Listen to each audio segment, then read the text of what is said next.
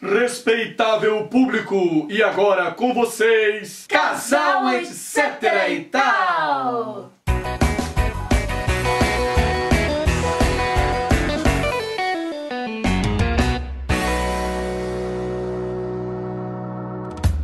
E no vídeo anterior nós falamos sobre o temperamento colérico, temperamento forte. Ariranha braba! E hoje nós vamos falar do temperamento mais calmo e da paz que existe. É o temperamento fofo, fofo, fofo, calmo, da paz, lindo, querido, fleumático. Ele mesmo. Porque o fleumático é o melhor comportamento, é o mais melhor não. Vamos lá. É o temperamento mais fácil de se lidar dos quatro temperamentos básicos do ser humano. O fleumático é o temperamento mais boa praça que existe. Ele é da paz, ele não quer guerra com ninguém, ele é maneiro, ele é uma pessoa super gente fina. Ele é muito querido, é uma pessoa que você gosta de ter ele sempre por perto, porque ele passa aquela serenidade para você, aquela paz, aquela calma. E o mundo anda tão agitado, tantos problemas, tantas coisas assim, e o fleumático consegue ter aquele equilíbrio, a serenidade no olhar de uma pessoa que nunca se estressa. É uma pessoa do bem e faz de tudo para manter a boa paz entre os amigos. É isso aí, o fleumático é uma pessoa que procura manter a paz entre todos os homens de boa vontade. É uma pessoa muito bem-humorada porém é considerado apático. Ele é bem-humorado, mas ele não é aquela pessoa expansiva como o sanguíneo, de risos largos. É bem discreto, até no seu bom humor ele é uma pessoa discreta. E por isso, muitas vezes ele se torna aparentemente apático é uma pessoa que ele tem um pouco de dificuldade de expressar os seus sentimentos, de expressar as suas emoções e por isso esse lado mais apático e parece que ele é uma pessoa fria e sem sentimentos é porque ele não consegue se expressar como os outros temperamentos. O fleumático adora uma rotina. Quer deixar ele nervoso? Tira ele da rotina. Se você deixar ele no cantinho dele, com os horários dele, com as funções dele, do jeitinho que você colocar. Ele é a pessoa mais feliz, feliz do mundo. Agora, se você tirar ele daquela rotina. Ele não vai gostar. Na verdade, o fleumático nunca se descontrola, né? O descontrole. Como é que é um fleumático descontrolado? Fala pra mim. E quando ele tá feliz? E quando ele tá triste? E quando ele está muito feliz. E vamos para as qualidades de um fleumático. Será que ele tem qualidades? Assim, ó. Oh, oh, oh. Então vamos ver. Como nós já falamos, o fleumático é muito calmo. É zen. Sereno, tranquilo. Parece que fuma maconha. Ah, credo! Não, Zé, tô brincando. É uma pessoa muito eficiente em tudo que faz. Se você der uma ordem para um fleumático, faça isso, isso, isso, isso e isso. Ele vai fazer exatamente do jeitinho que você pediu, cumprindo os prazos, os horários e tudo direitinho, porque ele é extremamente eficiente, ele é extremamente organizado nas suas ações, no seu trabalho, é uma pessoa que ele consegue entregar tudo no prazo, tudo direitinho, ele é extremamente eficiente em tudo que ele faz. E extremamente pontual. Também, nunca se atrasa, não gosta de se atrasar, é uma pessoa que sempre está adiantada justamente para não se estressar, não ter esse problema de se atrasar.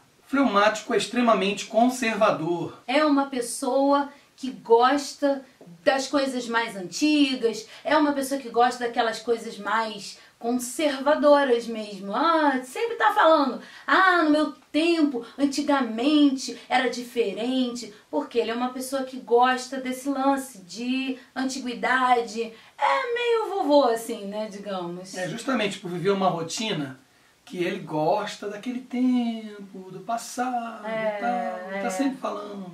Sempre. Todo dia. Quando eu era criança pequena lá em Barbacena.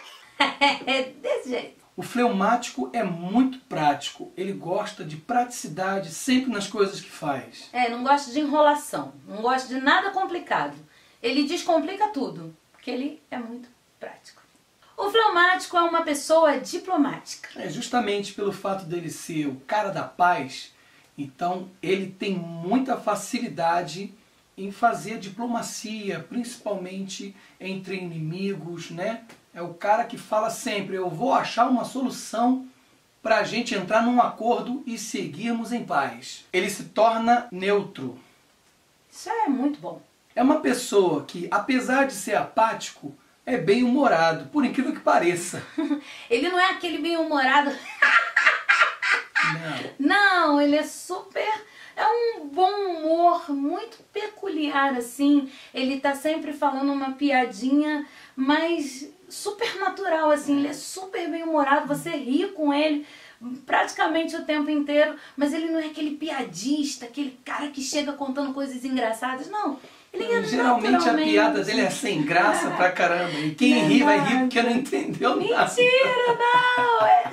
O fleumático, apesar de não querer ele, quando é, é um ótimo líder. O fleumático ele é aquele líder que quer que todo mundo coopere junto com ele. Ele está sempre dizendo: Eu não sou o chefe, nós somos uma equipe. Ele é todo assim é, é, ele tem todo um jeito diferente de liderar. Isso é muito legal porque ele consegue ser aquele chefe legal, aquele chefe que todo mundo gosta, né? Aquele cara que massacra.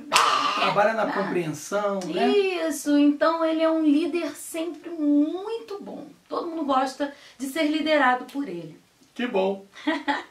o fleumático é cumpridor daquilo que delegam para ele. Direitinho. Se você mandar ele fazer um negócio, ele vai fazer direitinho do jeito que você pediu, porque ele cumpre tudo nos mínimos detalhes e fica tudo maravilhoso, porque ele é uma pessoa show de bola. Ele também é um ótimo organizador.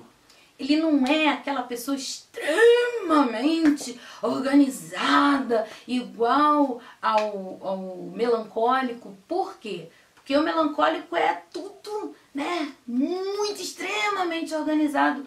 O fleumático ele é organizado até certo ponto, gosta das coisinhas dele toda no lugar, ele consegue ter as coisas dele normalmente organizadas assim, tapzinha.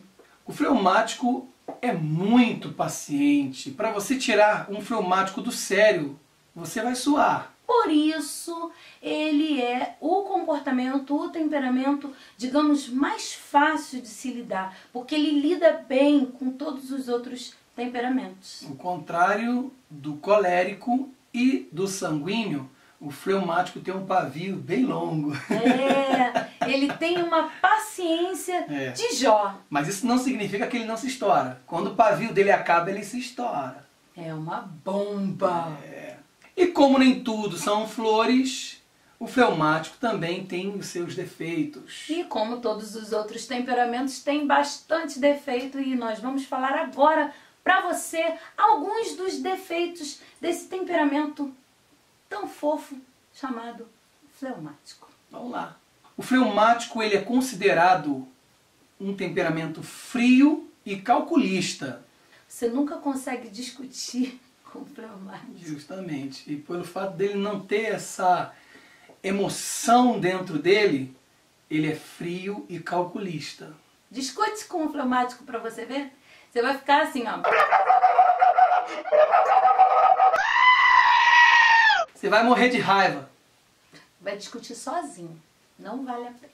O fleumático é uma pessoa muito introvertida ele não gosta muito de pessoas, muita aglomeração de pessoas. Ele não se sente bem em um lugar que tem muita gente e ele tem que lidar com muitas pessoas, ou até mesmo conversar por muito tempo, dialogar por muito tempo com uma pessoa. Ele vai ser amável até certo ponto, mas ele ele vai ficar doido para terminar a conversa. Ele vai ficar tipo ele assim, ser... arrumar uma maneira de, tá bom então, tá?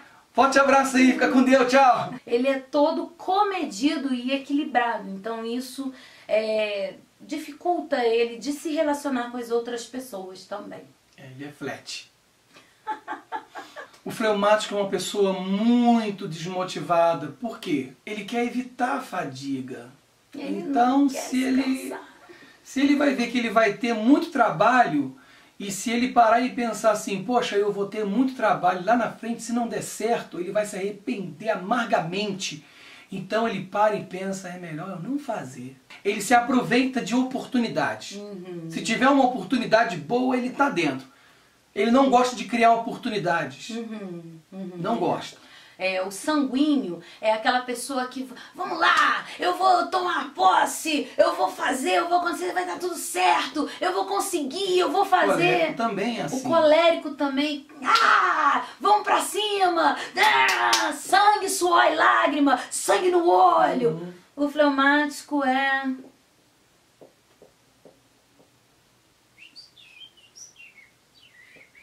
O fleumático não gosta de se esforçar em hipótese alguma. Ele não gosta de esforço. Ele quer evitar a fadiga. Você já viram o seu Jaime do Chaves? É que quero evitar a fadiga.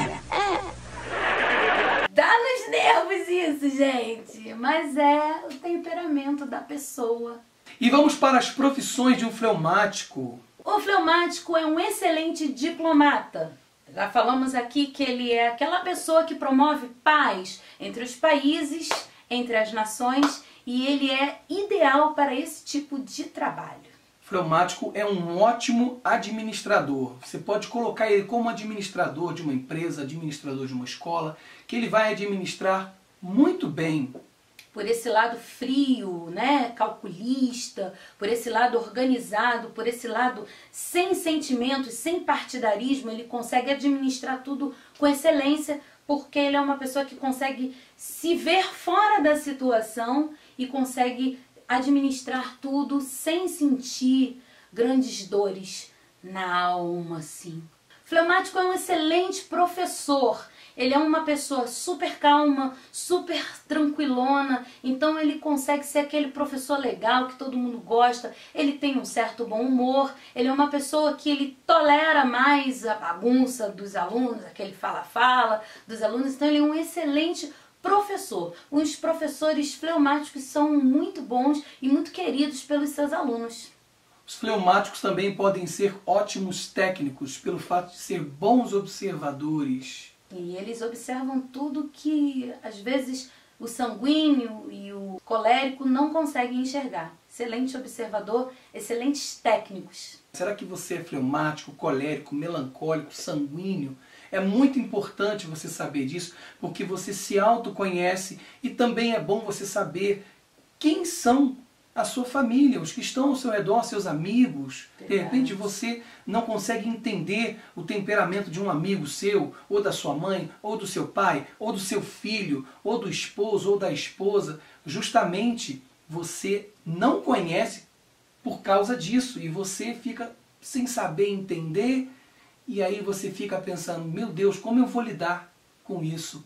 É muito simples. É. Basta conhecer, saber qual é o temperamento que tem aquela pessoa. Você tem que se esforçar, ir lá no Google, buscar, pesquisar, saber mais a fundo. É, tem vários sites que você pode procurar, vários, vários testes que você pode fazer da sua Muitas personalidade. informações. Tem uma gama de informações, por mais que você que nós tenhamos falado aqui, é muito reduzido, é muito pouco, você pode descobrir muito mais e isso vai melhorar o seu modo de se ver, de se conhecer e o modo de você conhecer as pessoas que você ama, as pessoas que você se relaciona, a vida. Tá então, pessoal, esses foram os temperamentos básicos do ser humano. E se você gostou, dá o seu joinha aí, se inscreve no canal e acompanha a gente aqui no Casal Etc e tal. Em breve a gente tem novidade pra você, tá bom? Vamos voltar com mais vídeos, hein? Um abraço. Tchau. Tchau.